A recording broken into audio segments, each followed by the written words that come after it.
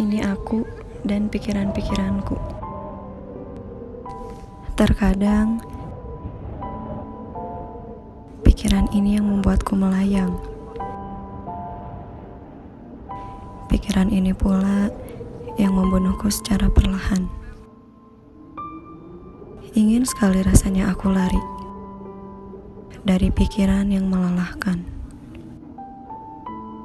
Setiap kali pikiran itu datang, emosiku menjadi tak karuan.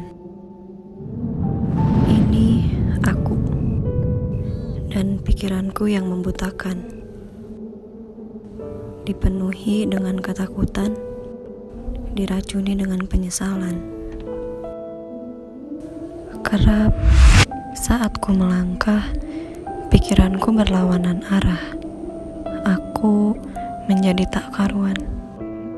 Pikiranku hilang.